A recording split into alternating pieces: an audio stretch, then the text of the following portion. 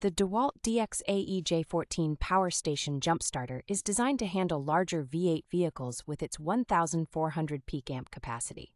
Its 120 pounds per square inch digital air compressor includes an auto stop feature and SureFit nozzle, making tire inflation a breeze.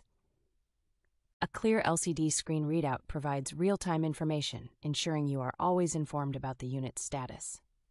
This jump starter also comes with a reverse polarity alarm to alert you of improper connections, enhancing user safety. The built in 3.1 ampere USB ports provide convenient portable power for your electronic devices. Additionally, the patented alternator check function allows you to monitor the health of your vehicle's alternator, adding extra diagnostic capability.